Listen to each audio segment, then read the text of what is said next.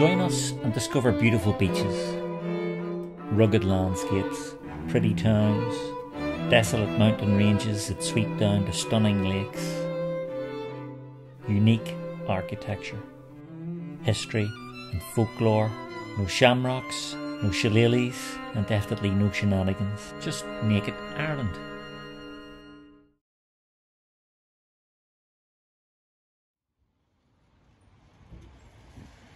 Clonard Monastery and Catholic Church is located off the Falls Road in West Belfast.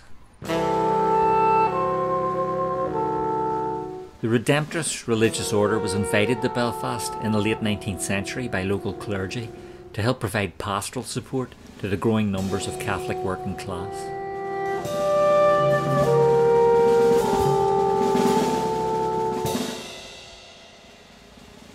The monastery dates from 1897 and was designed in early French Gothic style by Ludwig Oppenheimer.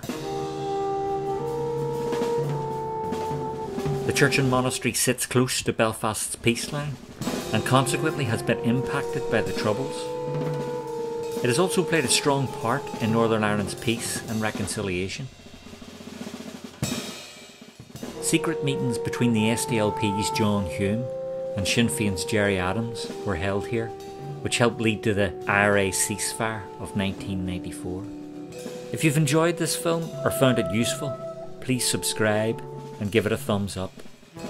Feel free as well to comment, and please check out other Naked Ireland videos.